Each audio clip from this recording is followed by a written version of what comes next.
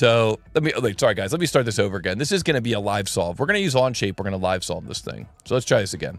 So we're going to start out here by, uh, good luck to all of you who are solving this thing. And we're going to start out here by going to tootalltoby.com and we are going to click get started.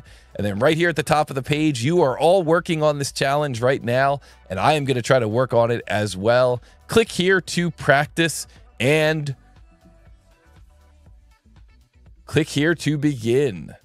So this is something that's available for any users, uh, regardless of what your, your level is. If you're a free user or if you've signed up for Practice Models Premium, either way, you're going to be able to practice this model. I'm going to say click here to begin. That's the cool thing about the featured model. Of course, this will only be up there for a couple of weeks. So if you're watching this video later, then you'll have to try the new featured model. But either way, there'll be a featured model up there. So we're going to say reveal drawing and go. The clock is running, and the question is, what is the mass of this part in 0.0xxx pounds? And we're going to try to enter that answer right down here. And if you're watching the recording, you might see some people in the chat trying to come up with this answer. But this is kind of a cool one, right? What we could do with this is we could come up with the geometry for this shape here and perform a sweep and kind of sweep that around this internal shape here right? We could do a sweep there, or we could maybe come up with the geometry for this shape here in the section view. That might actually be a little bit easier to come up with. Come up with the geometry for that shape there in the section view. And then we could take that geometry and we could sweep that. You could perform what's called a sweep. So that would be one of your sketches. This might be the other sketch. Then you do a sweep. Now that's going to end up being a little bit short here on this side. So we might have to add some extra material over here after we do that sweep. And then what we could do is maybe add that fillet at the end. And, you know, when you, a lot of times when you look at a challenge like this, that's what you'll think of. That's where your brain will go right away. You'll think like, oh, I got to sweep this thing. That's how you make that. It clearly looks like a sweep. But the thing is, I think that in a case like this, sometimes we overthink the challenge, we overthink the geometry, and we want to remember that we have other tools that we can use, particularly when you see a note that says something like this. Whenever you see a note that says wall thickness typical, what you should be thinking right away is shell. Is it possible to do a shell here on this model? And when you start thinking about it that way, then you realize like, oh, this model actually could probably be done pretty quickly. So instead of doing it, you know, instead of creating the profile and sweeping it, maybe what I could do is create this shape here. So maybe this will be my first sketch directly on the origin, create a shape like this.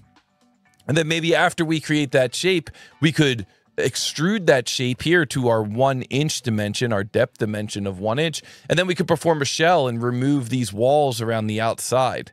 So a lot of times when you think of a shell, you think of like a, a container and you're shelling out the inside of the container. But occasionally you'll run into a spot like this where the shell can actually be applied on the outside. I think that's what we're going to do with this model. Now, the other lesson that we'll learn from going through and doing this model is to kind of keep your sketches simple. Don't don't feel the need to overcomplicate your sketches. You don't necessarily have to put every single fillet in that original sketch. And a lot of times I personally will opt to have sharp corners in the sketches and then I'll go back and I'll add those fillets as features later on in the design. So we're going to see some of that activity here today as well. Uh, so I'm just gonna open up this. Uh, there's a button here for premium speed run mode. Uh, we're gonna we're gonna actually have that available for everyone here in just another week or so. But basically, what that lets you do is it lets you make the the drawing more of like a, a modular or modal window. So I'm gonna put the drawing over here on my second screen. I'm gonna move the clock over a little bit so we can kind of keep an eye on the clock. I'm gonna move Onshape over here onto this half of the screen so we can create the model here in Onshape. And let's give this thing a try and we'll see, you know, we'll see how long it takes us. I know it took us about three minutes to come up with a game plan, but listen, I always think it's important to come up with a game plan. I mean, the things I think about when I'm coming up with a game plan are what is my first sketch going to look like and where is my origin going to be? So I think in this model, my first sketch is going to look something like this, almost like a horseshoe shape with this extra shape in the middle. And I think I'll just put the origin right here, right at the center of that one inch diameter. This is clearly the functional diameter for this part. It's called a, a sliding uh, it's called a sliding sleeve. And clearly that one inch diameter is going to be sliding along some type of a post or a rod. So that's going to be my origin as well. It might help me for meeting this geometry later on as well.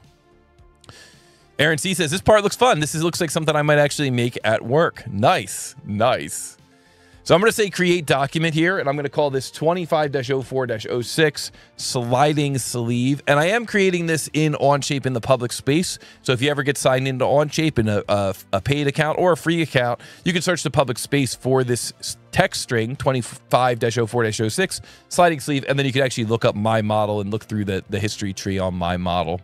Let me bring up the keyboard cam as well, and we're going to start out by going up here to this hamburger menu and choosing workspace units and making sure that we are working in inches because this model is in inches, this model is in pounds, IPS, inch pound second, and we're going to say uh, green check mark there. And now we're going to stick to our game plan. Front plane, going to press the letter S to bring up my key, my S key menu. I'm going to press the, the begin a new sketch command. I'll press N to get normal to, S to begin a circle, and I'll create a circle here with a diameter of one inch using auto dimensioning.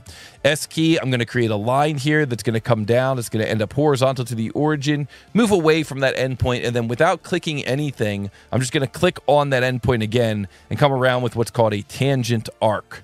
So tangent arc there all the way around, horizontal to the origin. Again, single click. Now I'm going to move this up here, and I'm going to move it so that it's horizontal to this point here. Single click. And then my final move here, this is one of my favorite things about Onshape, is that I can then click over here on this point, And then after I click, I can let go and I can type in 1.75. Now you'll notice that currently that value is closer to 2.82 or 2.83. But the thing that's cool about Onshape is that it will adhere to or it will uh, it will utilize the relationships and it will it will maintain the relationships and honor the sketch relationships but it'll pull the dimensions in even if you dimension it after the fact like i'm doing here. And that's something that i have found has been a great time saver. So 1.75 enter and there we go. And now all i need to do is just hit escape pick this point pick this point and press i to make those coincident and then add a quick dimension here for this line and that dimension is going to be 0.875 so that's the majority of that first sketch. I think the other thing that I'll do with this first sketch is I'll just add in a rectangle here. So S key, rectangle, and that's going to go from here down to here like so. And the width of that rectangle is going to be 0.625. And I don't really need the depth. It's already picked up by the relationships. And then I can just pick on this point and this line and shift M to make those midpoint. And that's going to be it. Keep your sketches simple right? Keep your sketches simple. It's a great, great strategy. You don't have to go through and add all those fillets right now. You could leave the sketch simple and add the fillets later at the feature level. So S key extrude, and I have customized my S key menu. So right click customize. That way extrude shows up there on that menu. So S key extrude, and then I'm going to press the space bar. And then I'm just going to pick this region here. I don't want the whole thing. I just want that region. So spacebar to clear the current selections and then just pick this region here. This is going to be a solid new depth is one inch and we'll make this symmetric and hit the green check mark. And oh yeah, that is looking good. And so now I can get in there and start adding some of those other fillets. So I could do S key fillet I could pick maybe this edge here, and then I'm going to pick this edge behind here, but I'm going to use what's called select other. This is something I've been doing a lot lately, where I press the tilde key, which is that key in kind of the upper left corner, and then I'm able to select right through. So I just press that so that that edge is highlighted, and then I just left click, and that selects right through. So that's a little little trick that I've been using a lot more lately. So this radius here is going to be 0.5. And then instead of just pressing enter, so if I press enter, that updates the preview, I'm going to hold shift and press enter, and that repeats the fillet command. So now I could go in here with a fillet of 0.25 and add in a fillet here and here. And then once again, I could do a shift enter. Now, I could add these both in the same command because they both are 0.25, but I'm going to add them in two separate commands because they, they're kind of act, functionally acting differently. And it's likely that they may change radius independently. So in case the customer comes back to me later, I'm going to make sure that I um, give myself the flexibility to change the model. So I'm going to press shift enter, finish that fillet, jump into another fillet, and then I'll pick this edge here and this edge back here. And because Onshape utilizes what's called tangent propagation, tangent propagation, that means that when I just pick this one edge here, Onshape automatically fillets this edge because it's tangent, and this edge because it's tangent, and this edge because it's tangent, and this edge because it's tangent.